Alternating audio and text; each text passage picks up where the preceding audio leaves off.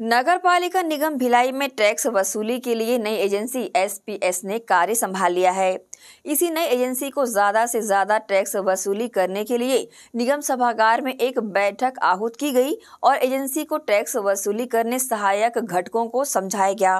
गौरतलब है कि निगम भिलाई क्षेत्र के टैक्स वसूली के लिए निगम भिलाई ने एक नई एजेंसी को कार्यभार सौंपा है, जिसने अपना कार्य शुरू भी कर दिया है, परंतु अब भी कुछ तकनीकी विषमताओं की वजह से टैक्स वसूली में तेज़ी नहीं आ पा रही है। जिसे देखते हुए अपर आयुक्त अशोक द्विवेदी ने टैक्स वसूली के लिए नई कंपनी एसपीएस की एक बैठक बुलाई, जिसमें टैक्स वसूली में सहायक एवं तकनीकी खामियों को दूर करने के उपाय बताए गए, जिससे निगम क्षेत्र के करदाता 31 मार्च के पहले अपना कर अदा कर सकें और 31 मार्च के बाद लगने वाले 18 परसेंट अधिभार और शास्त्रीय शुल्क से बच सके। देखिए संपत्ति कर का जो आ, इस वित्तीय वर्ष 2023 का जो टैक्सेशन है उसको लेकर नई एजेंसी जो है एसपीएस वो काम कर रही है और भिलाई निगम क्षेत्र में इसमें जो टैक्सेशन का इस वित्तीय वर्ष का जमा करने का जो अंतिम तिथि है वो इकतीस मार्च है। जिसको देखते हुए टैक्स वसूली में जो बढ़ोतरी लाना है और चूँकि नई एजेंसी है उसके सॉफ्टवेयर अपलोडेशन के जो बहुत सारे वर्क हैं जिसपे उनको काम करने का और आवश्यकता है इन सब चीज़ को लेकर और विभागीय जो समन्वय स्थापित करके जो टैक्स वसूली करना है, जैसे डोर टू डोर वसूली करना है, हम लोग अवकाश के दिन में भी इसको लगाने की तैयारी कर रहे हैं, बल्कि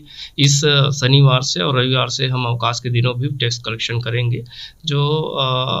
गवर्नमेंट कर्मचारी होंगे या जो ऐसे कर्मचारी होंगे जो अवकाश के दिन में आ पाएँगे, जो बिना वर्किंग डे में नहीं आ पाते हैं, वो ऐसे लोगों को फ़ायदा मिलेगा। दूसरा, ऑनलाइन भी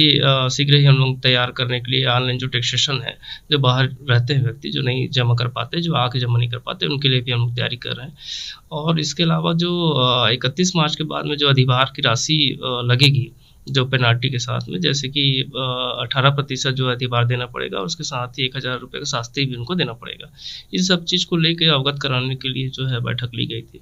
बैठक में बहुत सारे मुद्दों पर चर्चा की गई है, और टैक्स वसूली में बढ़ोतरी लाने के निर्देश दिए गए हैं।